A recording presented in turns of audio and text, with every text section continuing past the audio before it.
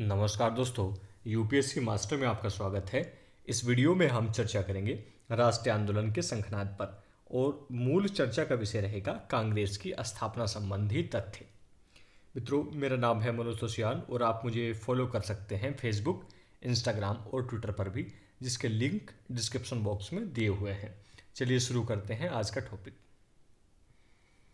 मित्रों, देखिए, सबसे पहले प्रश्न उठता है कि राष्ट्रीय आंदोलन क्या है? राष्ट्रीय आंदोलन से तात्पर्य है ऐसे आंदोलन जो राष्ट्र के लिए किए गए हैं, अथवा ऐसे आंदोलन जिनका मूल भाव राष्ट्रवाद से प्रेरित रहा है। अब दूसरा प्रश्न उठता है कि राष्ट्रीय आंदोलन की शुरुआत कहाँ से माने? चूँकि, जो कुछ स्वदेशी या हिंदुत्व राष्ट्रवादी इतिहासकार हैं, लेखक हैं, विद्वान हैं, उन्होंने अठारह सौ सत्तावन के संग्राम को, प्रथम स्वतंत्रता संग्राम कहा है, जैसे वी डी सावरकर। तो इसलिए ये प्रश्न उठना लाजमी भी है। देखिए, यदि अठारह के स्वतंत्रता संग्राम पर गौर से दृष्टिपात किया जाए तो यह महसूस होता है कि इसमें कोई राष्ट्र की विचारधारा नहीं थी। यह क्षेत्रीय हित के लिए लड़ा गया था। यदि मुगल बादशाह बहादुर शाह ज़फ़र लड़ रहे थे तो वह अपनी बादशाहत के लिए लड़ रहे थे। झांसी की रानी लड़ रही थी तो वह अपनी, जो है, अस्मिता के लिए लड़ रही थी, अपनी झांसी के लिए लड़ रही थी। नाना साहब, तात्या टोपे या अन्य नेता लड़ रहे थे, सबके अपने अपने व्यक्तिगत हित थे। राष्ट्र की कोई भावना नहीं था। राष्ट्र के लिए कोई हित महत्व तो नहीं रख रहा था। अर्थात हम ये कह सकते हैं कि अठारह सौ सत्तावन का विद्रोह, वह एक राष्ट्रीय विद्रोह या राष्ट्रीय आंदोलन की शुरुआत न होकर परंपरागत विरोध की एक आखिरी चोट था। वो परंपरागत विरोध क्या थे? इससे पूर्व भी अनेक विद्रोह होते रहे थे। जनजातियों में, किसानों में वो भी अपने क्षेत्र हित के लिए होते थे। तो अब यह प्रश्न उठता है कि वास्तव में हम इसकी शुरुआत कहाँ से माने? अब मॉडर्न नेशनलिज्म की अगर हम बात करें तो हम इसकी शुरुआत 1860-70 के आसपास से मान सकते हैं। जब राष्ट्रीय स्तर के छोटे छोटे संगठन अस्तित्व में आ गए थे, जैसे पूना सार्वजनिक सभा, मद्रास महाजन सभा और 1876 में इंडियन एसोसिएशन। इसके विषय में ऐसा कहा जाता है इंडियन एसोसिएशन के, जिसकी स्थापना की थी आनंद मोहन बोस ने, सुरेंद्रनाथ बनर्जी ने कलकत्ता में अठारह सौ छिहत्तर में, कि यदि कांग्रेस की स्थापना नहीं हुई होती तो यही संगठन था जो अखिल भारत का नेतृत्व करता। ये संगठन आ गए थे। इन्हीं संगठनों का जो वास्तविक परिष्कृत रूप जो है, वो अठारह में कांग्रेस की स्थापना के साथ अस्तित्व में आया और यहीं से जो प्रबुद्ध भारतीय वर्ग था, एकजुट हुआ, राष्ट्रीय हित की मांग उठाई। अर्थात हम ये कह सकते हैं कि राष्ट्रीय आंदोलन की शुरुआत हुई। राष्ट्रीय आंदोलन की शुरुआत हमने देखी अठारह सौ पचासी में जो चर्चा की अभी कांग्रेस की स्थापना के साथ, और ये जो रहा उन्नीस तक का चरण रहा। अब इस बीच जो है,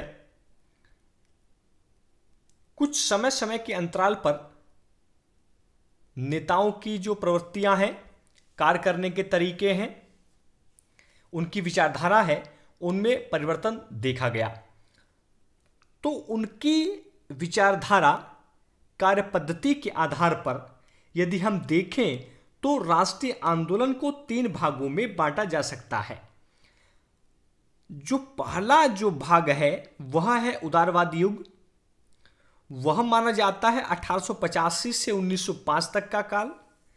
दूसरा है उग्रवादी युग, जो माना जाता है 1905 से 1919 तक का काल।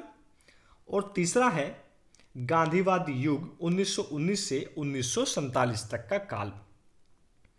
ये तीनों के तीनों जो है, इनका अध्ययन हम करते हैं राष्ट्रीय आंदोलन में। देखिए, अब जो है हम एक के बाद एक करके सभी पर चर्चा करेंगे। बहुत सारी वीडियोस आएँगी, एक टॉपिक की एक ही रहेगी। सबसे पहले हम देखेंगे उदारवाद युग या मॉडरेट पीरियड की। इसमें तीन से चार वीडियो रहेंगी, इसमें हम सबसे पहले चर्चा करेंगे शंखनाद पर, इसका उदय कैसे रहा? फिर हम चर्चा करेंगे उदारवादियों के उद्देश्य व कार्यप्रणाली कैसी थी। जैसे कि मैंने चर्चा की कि उद्देश्य और कार्यप्रणालियों के आधार पर ही हम राष्ट्रीय आंदोलन को तीन भागों में बांटते हैं। फिर हम चर्चा करेंगे जो मुख्य कार्य गतिविधियाँ रही उन पर और अंत में हम चर्चा करेंगे राष्ट्रीय आंदोलन में उदारवादियों के मूल्यांकन पर। देखिए, सबसे पहले हम चर्चा करें संघनाद पर उदारवादियों के। देखिए, कांग्रेस का गठन माना जाता है अठारह में। या कांग्रेस का गठन हुआ 28 दिसंबर अठारह को। आगे चर्चा का विषय रहेगा। ये जो है, एक अखिल भारतीय संस्था थी और इसके गठन की तैयारी ऐसा नहीं है कि तुरंत से ही हुई, एक लंबी प्रक्रिया ही थी। छोटे छोटे संगठन अस्तित्व में आ चुके थे। 1838 में लैंड होल्डर सोसाइटी आई थी, जो पहला राजनीतिक संगठन थी। उसके बाद देखने को यह मिला कि अनेक संगठन अस्तित्व में आए। हालाँकि एक अखिल भारतीय स्तर का संगठन भी लगभग अस्तित्व में आ चुका था, जिसको हमने इंडियन सॉरी इंडियन एसोसिएशन के नाम से देखा। 19वीं सदी के उत्तरार्ध से ही राष्ट्रवादी राजनीतिक कार्यकर्ता एक अखिल भारतीय संगठन के निर्माण के लिए प्रयासरत थे और इस दिशा में कार्य हो भी रहे थे। परंतु इस विचार को मूर्त रूप देने का जो श्रेय है, वो जाता है एक अंग्रेज़ अधिकारी एओ ह्यूम को। मैंने इससे पहले चर्चा की। 1876 में इंडियन एसोसिएशन नामक संगठन अस्तित्व में आ गया था और यही लगभग पहला अखिल भारतीय संगठन था। इसने अखिल भारतीय मुद्दों को उठाया भी था, जैसे vernacular press act, arms act जैसे मुद्दों को। इसके अलावा इल्बर्ट बिल विवाद भी जो है, इसी ने उठाया था। सॉरी, उस मुद्दे को भी इसी ने उठाया था। देखिए, यही जो संगठन था, इंडियन एसोसिएशन, ये लगातार जो है, ऑल इंडिया कॉन्फ्रेंस कर रहा था। तो अठारह में जो ऑल इंडिया कॉन्फ्रेंस हुआ, जिसके अध्यक्ष थे आनंद मोहन बोस कलकत्ता में, इसमें भारत में जो है प्रबुद्ध भारतीयों ने भाग लिया और इसमें जो है एओ ह्यूम भी शामिल हुए। अब ए ह्यूम के मस्तिष्क में यही एक विचार आया कि एक ऐसे संगठन की आवश्यकता है, अखिल भारतीय स्तर पर, जिससे सभी भारतीयों के विचार छन छन कर ब्रिटिश सरकार तक पहुँचे। इसी को ध्यान में रखते हुए उन्होंने अठारह में इंडियन नेशनल यूनियन की स्थापना की। इस इंडियन नेशनल यूनियन ने अठारह में ये प्रस्ताव रखा कि आगामी वर्ष में 28 दिसंबर अठारह सौ पचासी को पूना में एक सम्मेलन होगा, जहाँ हमें निर्धारित करेंगे कि हमको कौन सा संगठन लाना है। परंतु पूना में जो है 28 दिसंबर अठारह सौ पचासी में जब यह सम्मेलन होना था, इस दौरान हैजा फैला हुआ था। इस वजह से यह सम्मेलन बंबई में हुआ, गोकुल दास तेजपाल संस्कृत महाविद्यालय में। इसमें अनेक प्रबुद्ध भारतीयों ने भाग लिया, जिसमें दादा भाई नौरोजी, गोपाल कृष्ण गोखले, बदरुद्दीन तैयब जी, फिरोज शाह मेहता जैसे नेता थे।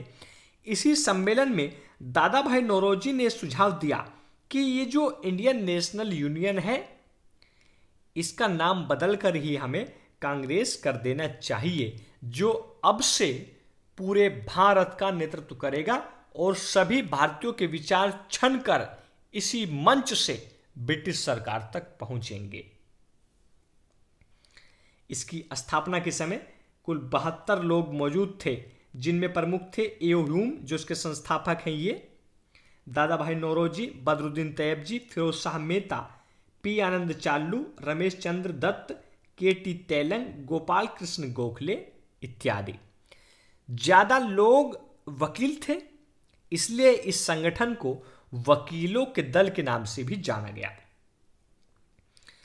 इंपॉर्टेंट फैक्ट है कि इसकी स्थापना के समय सुरेंद्र नाथ बनर्जी व आनंद मोहन बोस शामिल नहीं थे, क्योंकि इस दौरान ऑल इंडिया कॉन्फ्रेंस का कलकत्ता में फिर से आयोजन हो रहा था और इसका आयोजन कराती रही थी इंडियन एसोसिएशन जिसकी स्थापना 1876 में इनके द्वारा ही की गई थी। कांग्रेस जो शब्द है, वह उत्तरी अमेरिका से लिया हुआ है, जिसका अर्थ होता है लोगों का समूह। इस मंच के, अर्थात ये जो वास्तविक रूप में अखिल भारतीय संगठन था, इसके उद्देश्य थे पहला उद्देश्य था राष्ट्र हित में संलग्न व्यक्तियों के बीच घनिष्ठता व मित्रता कायम करना। नेक्स्ट राजनीतिक कार्यक्रम की रूपरेखा तैयार करना व उन पर सम्मिलित रूप से विचार विमर्श करना। राष्ट्रीय एकता का विकास व सुदृढ़ीकरण करना। महत्वपूर्ण व आवश्यक सामाजिक प्रश्नों पर भारत के प्रमुख नागरिकों के बीच चर्चा व उनके संबंध में परमाणु का लेख तैयार करना और राजनीतिक, सामाजिक व आर्थिक मुद्दों पर शिक्षित भारतीयों को एकजुट करना। यह निर्णय लिया गया कि इस मंच के ये उद्देश्य हैं। इसके अलावा जो अल, ये तो दीर्घकालिक उद्देश्य हैं जो वास्तव में इसको पाने हैं। इसके अलावा कुछ समय समय पर जो उद्देश्य रखे जाएँगे, उसके लिए साल दर साल एक अधिवेशन बुलाया जाएगा। उसमें क्या होगा कि अगले वर्ष के लिए उद्देश्य निर्धारित किए जाएँगे, पिछले वर्षों का मूल्यांकन किया जाएगा। इसी क्रम में इसका प्रथम अधिवेशन भी बंबई में ही हुआ, जहाँ इसकी स्थापना हुई थी 28 दिसंबर अठारह सौ पचासी को। इस अधिवेशन की अध्यक्षता की व्योमेश चंद्र बनर्जी ने। इस अधिवेशन में कांग्रेस ने मांग की। पहली मांग थी प्रशासन के अधीन सिविल सेवा का भारतीयकरण किया जाना चाहिए। प्रेस को स्वतंत्रता प्राप्त होनी चाहिए। सैन्य व्ययों में कटौती। ब्रिटेन से आयात होने वाले सूती वस्त्रों पर जो आयात शुल्क है, उसमें कमी की जाए। भारतीय न्यायाधीशों को यूरोपियन नागरिकों के मुकदमों की सुनवाई का अधिकार दिया जाए। ये इल्बर्ट बिल से संबंधित जो मैंने पीछे भी चर्चा की, यहाँ मांग को दोहराया गया। भारतीयों को भी यूरोपियंस के समान हथियार रखने का अधिकार दिया जाए, जिसकी मांग अठारह से जो स्थापित हुई थी, इंडियन एसोसिएशन, उसने जो है अठारह में इसके पारित होती ये मांग की थी कि आर्म एक्ट रद्द होना चाहिए। इसके अलावा ब्रिटिश मतदाताओं को भी भारतीय समस्याओं से अवगत कराना चाहिए। और जिसके लिए जो है, इसने क्या किया कि ये जो हमारे प्रबुद्ध भारतीय इंग्लैंड में जाएँ, वहाँ जो है छोटा मोटा संगठन बनाए, प्रेस के माध्यम से उन लोगों को अवगत कराएँ।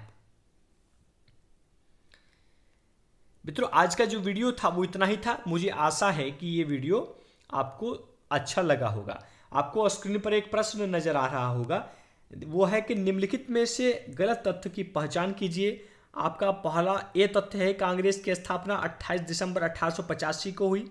ऑप्शन बी इसकी स्थापना के समय दादा भाई नौरोजी मौजूद नहीं थे। सी, इस दौरान पूना में ऑल इंडिया कॉन्फ्रेंस का आयोजन हो रहा था। डी, इसकी स्थापना के समय कुल बहत्तर लोग मौजूद थे। आपके विकल्प हैं, विकल्प है ए ए व बी, विकल्प दो, बी व सी, विकल्प तीन, सी व डी विकल्प चार, उपयुक्त सभी सही है, कोई गलत नहीं है। आप इसका उत्तर कमेंट कमेंट बॉक्स में लिख सकते हैं। थैंक्स फॉर वॉचिंग जय हिंद जय भारत महाशक्ति भारत